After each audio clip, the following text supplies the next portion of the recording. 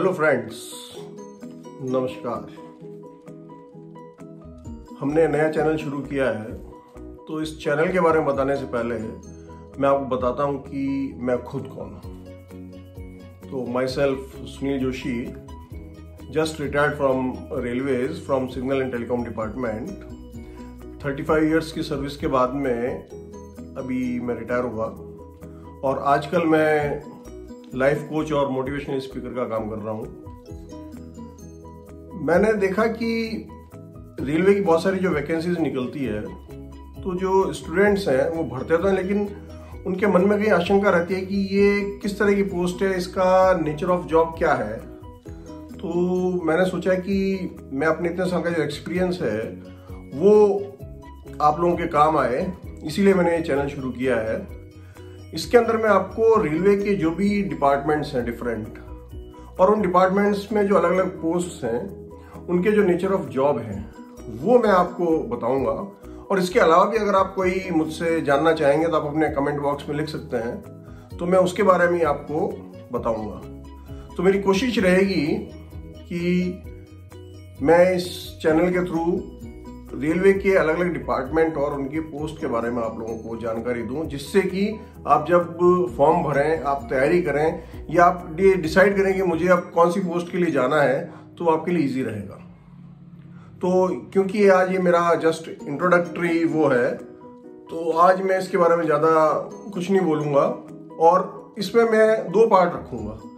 पहला पार्ट हमारा होगा पाँच से सात मिनट का, जिसमें कि मैं आपको रेलवे की एक पर्टिकुलर डिपार्टमेंट उसकी कुछ पोस्टों के बारे में बताऊँगा।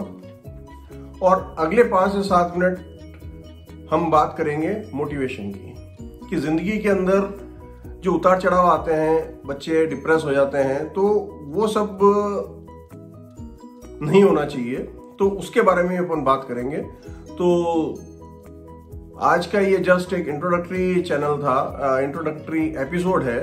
तो मैंने कहा आपसे एक बार रूबरू हो जाऊँ तो सबसे पहले तो मेरी आप लोगों से रिक्वेस्ट रहेगी कि आप लोग इस चैनल को सब्सक्राइब करें, जिससे कि मुझे भी थोड़ा सा एंथुजियाज्म रहेगा नई नई वीडियोस डालने का और आप लोगों को बताने का। और no doubt I am as good as your mentor regarding railway jobs तो आप लोग मुझसे कमेंट में कुछ भी पूछ सकते हैं। और इसके अलावा भी आपको कुछ लगता हो कि आपके कैरियर में आपको क्या चाहिए, कहाँ जाना चाहिए, आप क्या कर रहे हैं तो आई थिंक कि मैं उसमें भी आप लोगों की हेल्प कर सकता हूँ।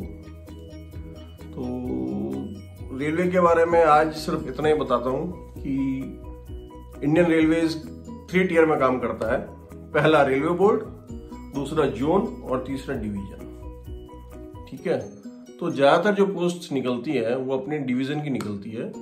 तो डिवीज़न में जो जो डिपार्टमेंट्स हैं, उन्हीं के हेड्स जोन में बैठते हैं और उनसे भी ऊपर वाले जो है वो रेलवे बोर्ड में बैठते हैं। तो मेन जो ट्रेन चलती है, जो ट्रेन का जो संचालन है that comes under the division and उसके ऊपर एक कंट्रोल जोन का भी है, थोड़ा बहुत।